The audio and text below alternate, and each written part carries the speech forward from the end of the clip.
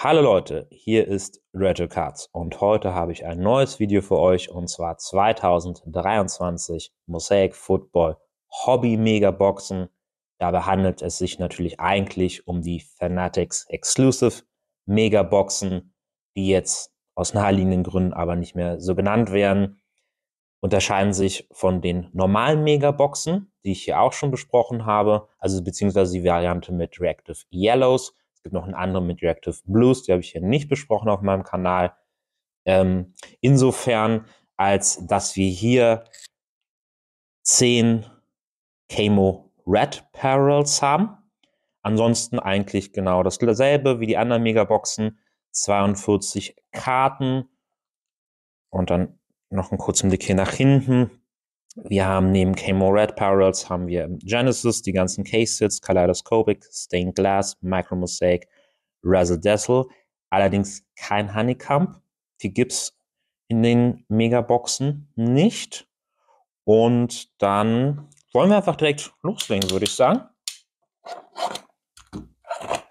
Und mal schauen. Wie gesagt, bei den Megaboxen, die ich schon besprochen hatte, mit Reactive Yellow hatte ich extrem viel Glück und habe dann eine ziemlich krasse Patrick Mahomes-Karte rausgezogen. Ansonsten waren die ganz okay. Es war echt schwierig, gerade auch Rookies als Reactive Yellows rauszuziehen. Dann wollen wir schauen, ob das hier vielleicht besser ist. Von den Kosten her, die fangen so bei 80, 85 Euro an. Ich habe sie aber auch jetzt schon gesehen für über 100 Euro. Und da würde ich sagen, für über 100 Euro ähm, wird es sich wahrscheinlich nicht lohnen. Für 80 bis 85 Euro, wir werden es sehen. Wenn euch das Video gefällt, dann gebt doch gerne einen Daumen nach oben und abonniert den Kanal. Und dann starten wir jetzt hier mit dem ersten Pack. Und hier haben wir Anthony Munoz, Teddy Bruschi. Hier würde ich die Basekarten würde ich so durchgehen. Ich denke mal, das Design von Mosaic dieses Jahr werdet ihr auch alle schon kennen. Wir haben hier Hinten ein True Silver. Terrell Sachs. Okay. Und dann haben wir unseren ersten Red. Ähm, aber kein Rookie. Es ist Ed Reed. Okay. Und machen wir das mal so. Insert Luke Kickley Naja, 10 Reds gibt es hier pro Megabox. Ich vermute mal, davon sind maximal die Hälfte Rookies. Aber wir werden sehen. Anthony Richardson als Debütkarte, Baron Young und dann diesmal ein Rookie. Und zwar 49ers, okay. Ähm, Cameron Latu. Ja, und dahinter auch noch ein, aber das ist dann wieder kein Rookie. Reggie Wayne. Okay. Und dann Mike Elstott Thunderling.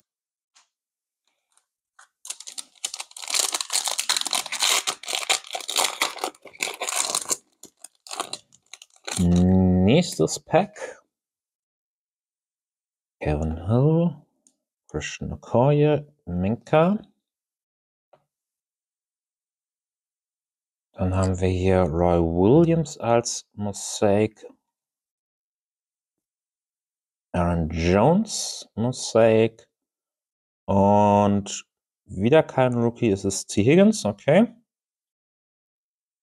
Und Touchdown Masters Kirk Cousins.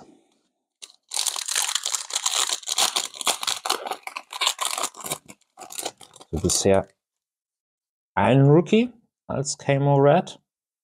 Wir haben noch einen True Silver hier. Derek Carr. Okay. Chris Johnson. Und Dallas Clark. Die Checkliste von Mosaic ist wirklich sehr, sehr groß und auch viele ehemalige Spieler dabei, wie man hier auch sehen kann.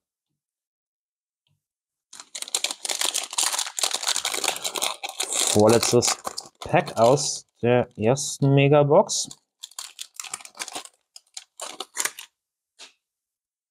Mit nochmal Dallas Clark, Stevenson, Tyreek, DJ Johnson und dann, okay, Tank Dell, nicht so schlecht. CJ Stroud wäre uns natürlich lieber gewesen, aber Tank Dell auch nicht. Und, oh, dahinter Patrick Mahomes. Nicht schlecht, okay, das Pack war doch mal ganz gut. Werde ich beides mal hier schnell sleeven. Ja, natürlich ähm, CJ Stroud als Camo Red wäre natürlich ähm, sehr gut. Aber Tank Dell nehmen wir auch. Und natürlich Patrick Mahomes auf jeden Fall. Jetzt Camo Red. Und sieht schon ziemlich cool aus, muss ich sagen. Und dann haben wir noch einen Tariq Epic Performers. Und das letzte Pack aus der ersten Megabox.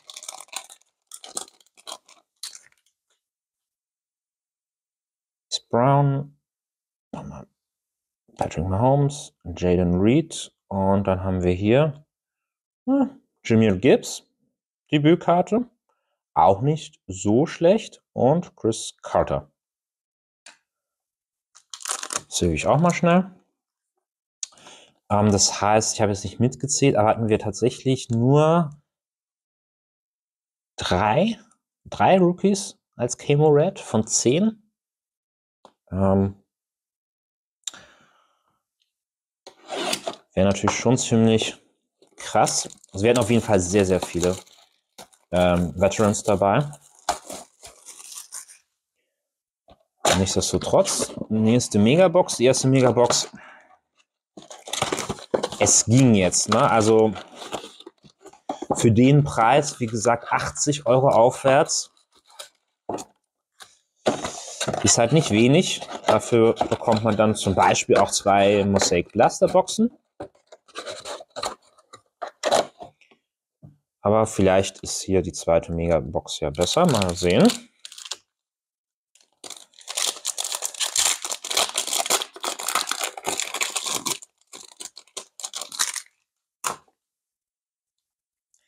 Peyton Juju Gino. Marvin Mims, Tyler Lockett als Mosaic und dahinter Anthony Munoz, den ich unglaublich oft äh, aus Mosaic rausgezogen habe dieses Jahr. In allen möglichen Parallels.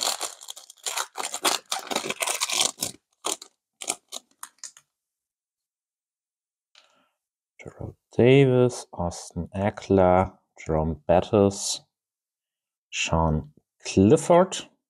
Und dann haben wir Zach Charbonnet, nicht so schlecht. Antonio Gates. Und noch ein Bang Insert. Kids Reporter Karte.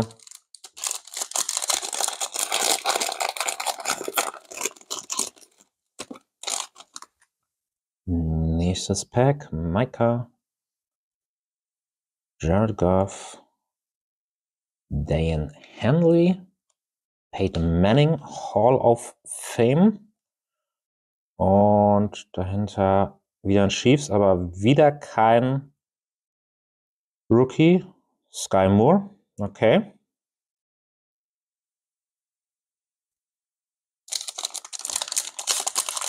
Sky Moore hatte bis jetzt auch nicht so wirklich die Saison, von der ich dachte, dass, dass er sie vielleicht haben könnte. Also ich dachte tatsächlich, dass Sky Moore in seinem zweiten Jahr ähm, deutlich mehr abliefert.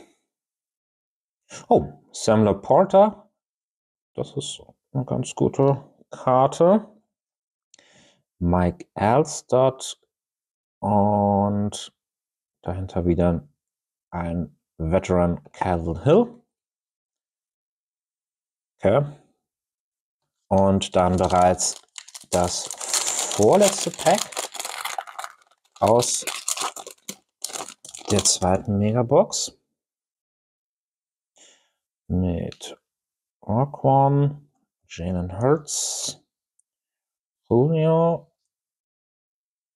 Josh Jacobs, Cooper Cup als True Silver National Pride und ähm, wieder kein Rookie Marquise Brown, okay.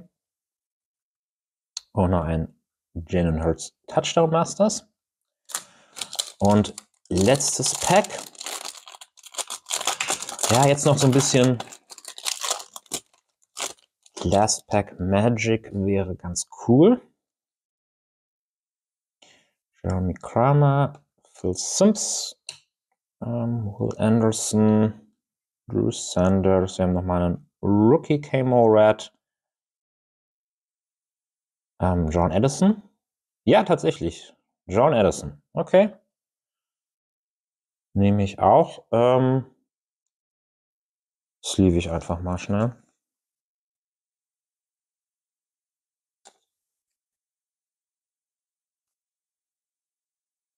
Hat ja auch eine bisher ziemlich gute Saison gehabt. John Edison, Drew Brees und Justin Herbert. Okay. Und das war's dann schon. So schnell kann es gehen. Gucken wir uns hier nochmal jetzt hier unsere Camo Reds an. Ed Reed,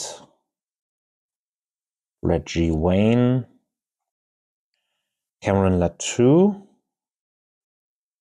T. Higgins, Dallas Clark, Chris Johnson, Patrick Mahomes, Tank Dell, Chris Carter, Jameer Gibbs. Als Debütkarte, Anthony Munoz, Zach Charbonnet, Anthony, Antonio Gates, Sky Moore, Peyton Hall of Fame, Calvin Hill, Mike Alstott, Marquise Brown, John Addison und Drew Brees. Das heißt, wir hatten jetzt tatsächlich insgesamt eins, zwei, drei, vier, fünf. Von 20 Camo Reds fünfmal nur Rookies, davon dann viermal True Rookies und einmal NFL-Debüt. Puh, ähm, doch sehr, sehr überschaubar, würde ich mal sagen.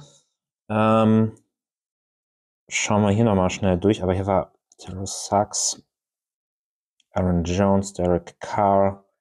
Ja, die Cooper Cup National Pride True Silver ist noch ganz nett. Aber ansonsten ähm, bei den sonstigen. Okay, wir haben noch Sam Laporta als Mosaic. Aber ja, es ist tatsächlich doch, finde ich, sehr, sehr überschaubar. Mosaic hat eine sehr, sehr große Checkliste dieses Jahr wieder. Dementsprechend schwierig ist es natürlich hier dann auch Rookies als Camo Red rauszuziehen, gar keine Frage. Aber bei zwei beziehungsweise drei Rookies als Camo Red pro Megabox finde ich definitiv einfach zu wenig. Vor allem, wenn der Rest dann halt auch, ja, sehr überschaubar war. Also für den Preis von 80, 85 Euro finde ich es eigentlich schon zu viel. Natürlich, man kann Glück haben, zitieren CJ Stroud, Camo Red raus oder äh, einer der Case-Sits, die hier auch möglich sind, gar keine Frage, dann sieht es wieder komplett anders aus. Aber abgesehen davon finde ich es für den Preis eigentlich ein bisschen zu wenig und für über 100 Euro definitiv. Dafür kann ich es auf gar keinen Fall empfehlen. Äh, wie gesagt, für 80 bis 85 Euro tue ich mich da wieso auch schon sehr, sehr schwer. Würde ich mich tatsächlich im Zweifel wahrscheinlich eher zu Blasterboxen entscheiden oder vielleicht zu einem der äh, anderen Megaboxen, also die in Anführungsstrichen normalen Megaboxen, ähm, mit den Reactive Blue oder den Reactive Yellow vielleicht. Schreibt mir doch gerne in die Kommentare rein, was denkt ihr? Mosaic Hobby Mega Box, ja oder nein? Würde mich eure Meinung auf jeden Fall sehr interessieren. Und dann vielen, vielen Dank fürs Zuschauen. Wenn euch das Video gefallen hat, gebt gerne einen Daumen nach oben, abonniert den Kanal und dann Tschüss und bis zum nächsten Mal.